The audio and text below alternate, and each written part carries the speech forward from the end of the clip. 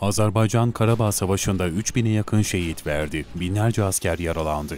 Türk Diyanet Vakfı Ramazan ayı dolayısıyla Azerbaycanlı şehit ve gazi aileleri için harekete geçti. 800 gıda kolisini ilk etapta Azerbaycan'a ulaştırdı. E, Ramazan boyunca e, Diyanet İşleri Başkanlığı ve Türkiye Diyanet Vakfı tarafından gönderilen 800 yardım paketine ilaveten Almanya'dan DİTİP vasıtasıyla gelecek olan inşallah e, 1500 koli civarında.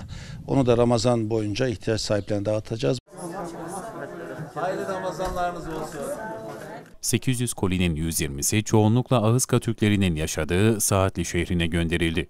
Paylaşım ayı Ramazan kapsamında Türk Diyanet Vakfı Azerbaycan'ın Saatli şehri Ortamugam köyünde 120 koli gıda yardımı ve yine Azerbaycan Türkçesinde hazırlanan Kur'an-ı Kerimleri dağıttı. Amin, amin. Hediyem Kur'an olsun kampanyası kapsamında Azerbaycan Türkçesiyle basılan 5500 Kur'an-ı Kerim hediye edildi. hepsine Allah'tan uzun ömür, can sağlığı ederim. Allah Ramazanınızı Allah dergahında kabul etsin. Hediye edelim e, bu güzel bir e. Evler birer birer gezildi, şehit aileleri yalnız bırakılmadı.